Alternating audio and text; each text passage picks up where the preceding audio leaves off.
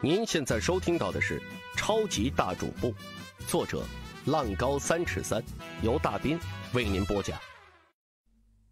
只有真正在大雨中走过草原的人才会明白，那深一脚浅一脚的感觉是什么样的。好像每一脚啊，都用尽了全身所有的力气。雨滴打在身上，更是挑战着身体的承受能力。再加上漫天的大雾。就睁开眼睛，却什么都看不见。阿聪嘴里边骂了一句：“这他娘的是什么鬼地方？”他跟吴大力走在最前面，实际啊，他也担心吴大力跑了。王红走在中间，已经都没力气说话了，咬着牙一步一步朝前挪。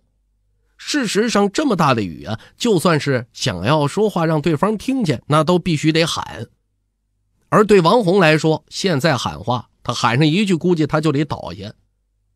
李高楼走在最后边，相比于前边三个人的状况，他是最为冷静的一个，身体素质也最好啊。而且从头到尾，他一直都在观察着四周的情况，谨慎起见，右手之中更是一直都捧着生死簿。眼见着又是好几分钟过去了，这雨是越来越大，阿聪忍不住啊，拽着吴大力在他耳边喊：“你说的灯光在哪儿啊？”这时的吴大力啊，如果不是刚刚吃了点东西，估计现在早变成一滩泥了。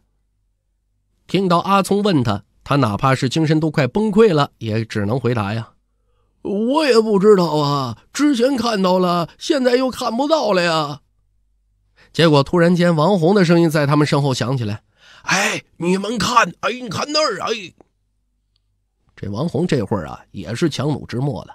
能得空说出话来，肯定是发现什么。果然，四个人停下脚步，在某个方向看到了一点灯光。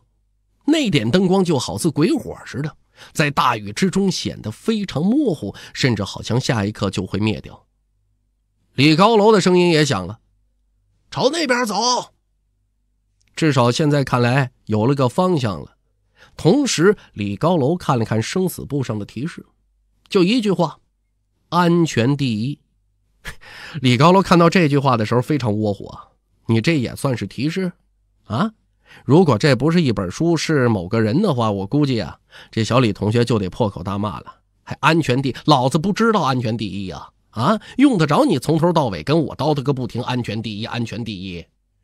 不过李高楼从来都是一个能够控制情绪的人，所以啊，他也没埋怨，重新迈开脚步。已然将注意力重新放在了那点灯光上，依旧是保持着之前的队形。四个人又走了一会儿，再度停下。吴大力一屁股坐在地上，也顾不得泥水四溅了。找不到了，我说过了，能够看到灯光，可你根本就走不到啊！这吴大力呀，也都快崩溃了。这种事他已经经历过一次，现在被拉着又走第二回。就这种感觉可以想象啊！李高楼三个人都没说话，事情的确有点古怪。就那点灯光好像一直都是那么远，根本没办法靠近，你怎么走都是那么远。王红啊，同样恨不得坐地上好好歇会儿，不过他跟吴大力不一样，他得咬牙坚持。老板，要不咱们撤？李高楼摇摇头，别着急。说着话，抬手抹了抹脸上的雨水。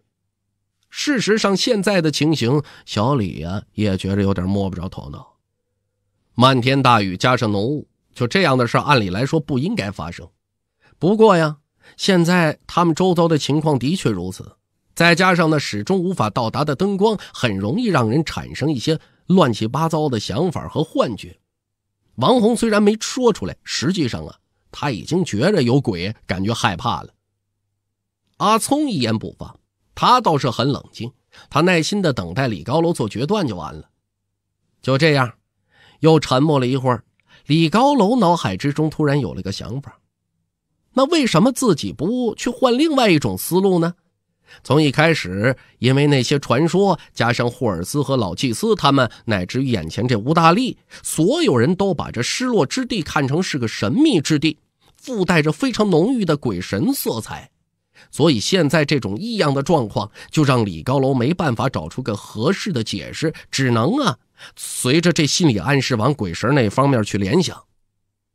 那这个地方作为草原的最低点，想来应该是类似一个山谷的地形，水气较重，自然常年呢就会有大雾笼罩，所以这也就完美解释为什么大雨还有大雾了。毕竟水分要往上蒸发呀。而在这种情况之下，因为雨雾的笼罩，自然会导致光线发生强烈的折射，所以他们没办法判断出那点灯光具体的位置。什么叫豁然开朗啊？李高楼现在就这感觉，甚至他都觉着心头那种阴郁一扫而空。再次抬手抹了抹脸上的雨水，李高楼摊开生死簿，然后他开始在生死簿上认认真真的做一道高中物理题。究竟明明正前方的灯光应该是在哪个方位？就这一刻，李高楼啊，自己都感觉很骄傲、很自豪。想来柳川高中的老师们一定想不到，他们培养出来自己这么优秀的学生吧？拿着全天下独一份的生死簿去搞定一道或许都不存在的物理题。就旁边的阿聪他们呢，看着李高楼双手凭空划过来划过去，就吴大力似乎都觉着这小子疯了。至于说阿聪跟王红面面相觑之后啊，都保持了沉默。他们相信李高楼任何举动都是有道理的，啊，所以等着吧。差不多也就两三分钟，李高楼抬起头来看向灯光完全偏离的另外一个方向。李高楼站起身来：“咱们走这边。”说完，阿聪一把把吴大力从地上扯起来：“走吧。”吴大力却连连摇头：“去那边干什么呀？”相比于阿聪他们，吴大力对李高楼肯定不那么信任，尤其在现在这种情况。不过阿聪压根没打算跟他解释，让你走你就走，哪儿那么多话？果然，很多时候啊，你甭管你多耐心，说多少话，都不如一把刀来的痛快。哪怕吴大力索性想死在这儿，可他也没办法对抗来自阿聪的压力，所以他就跟条死狗似的被拖着继续前进。王红也站起身来，咬了咬牙：“老板既然都说了，那就舍命陪君子吧。”于是四人开始重新前进，可不是原来那个方向了。这次朝前，吴大力嘴里边嘟嘟囔囔就没停过。明明那边有灯，呃，却往呃其他方向走，也不知搞什么呢。他这疑惑，李高楼自然不会跟他解释。实际上，如果真的没有看到最后答案，他自己也没法解释。就这么呀，四个人深一脚浅一脚的接着往那边走。这雨可一直都没停过，因为体力上的消耗，吴大力也不再说什么了。终于在某一时刻，吴大力倒在地上了。你杀了我吧，我走不动了，再走下去我就累死了。吴大力已经彻底崩溃了。不过这一次，阿聪没说什么，微微一愣，跟着吴大力发现三个人的目光朝着同一个方向。很自然的，他也顺着那个方向看了过去。这一瞧啊，吴大力脑子都懵了。就在前边是一处山谷，他们则是站在山谷的上方。这山谷的地形狭长，隔着大雨，隐约可见下方的蒙古包零零散散的坐落其中。好几处帐篷还亮着灯，就跟他们之前看到的一模一样。耳朵里边却只有雨声。